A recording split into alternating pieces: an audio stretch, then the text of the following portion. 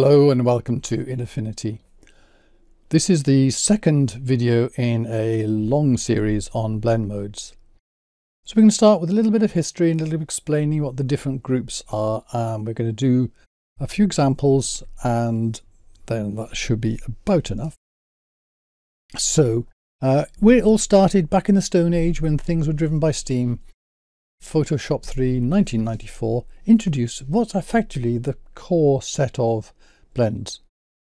So they are, well, normal is just kind of normal, it's nothing special. Uh, normal means do nothing, dissolve is hardly used. So kind of ignore those really. This is where it starts getting useful. A set of blend modes here which just make the picture darker by different calculations. Then if you've got darken, you might as well have lighten. And lighten uses effectively the opposites of the darken blends. And then you've got contrast modes. And what contrast modes, they use a combination of darken and lighten. They darken the darks and lighten the lights. So they're using the same thing, but in to make add more contrast because it's kind of handy. And then there's inversion, which effectively turns things upside down, which are occasionally useful.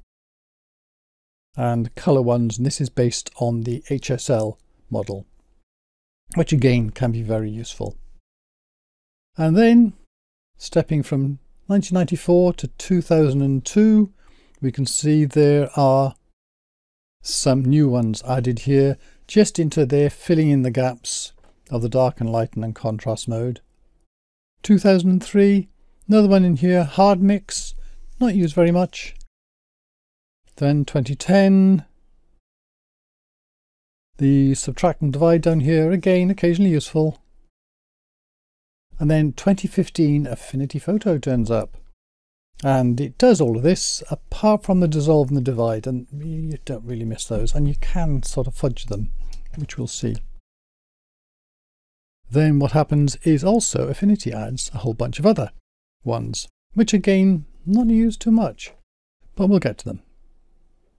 And then there's opacity, because opacity is the transparency of the top layer, and that is actually quite useful, but it's effectively a blend mode in itself. And there are a whole ton of extras which have not been appearing in the mainstream ones. They're in some other odd products. They're in papers, academic things, and so on.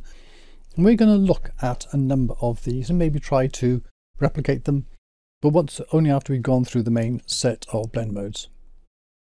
Um, as I said, only a few of these are popular.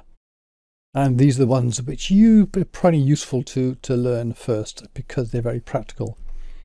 And uh, we're going to look at these three here. Luminosity is just useful when you want to um, not change the color when you're doing something like curves. So let's switch to, uh, where is it? Uh, here we go. Uh, an image.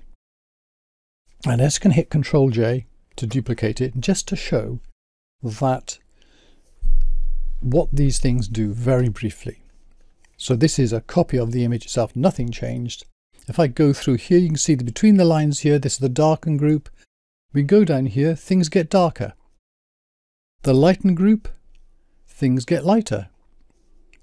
The contrast group, contrast increases.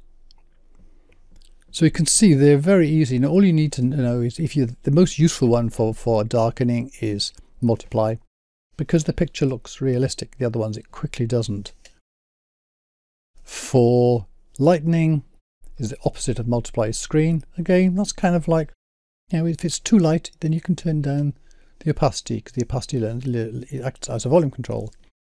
And down beyond that, there is overlay and soft light, which is a softer version, which kind of gives you a more contrasty thing. And again, you can play with the opacity to get the effect that you want.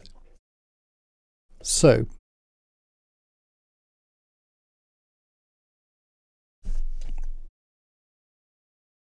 beyond those which we mentioned there in the red, the light red here are ones which are kind of useful as well, um, but just not used quite so often. And it gives you a pro progression of things to learn. Learn a few of the useful ones first and then get into the others more, which are more odd. And sometimes you're just implementing a magic recipe and all you do is, is uh, implement that. Anyway, that's it for now. So thank you very much for watching.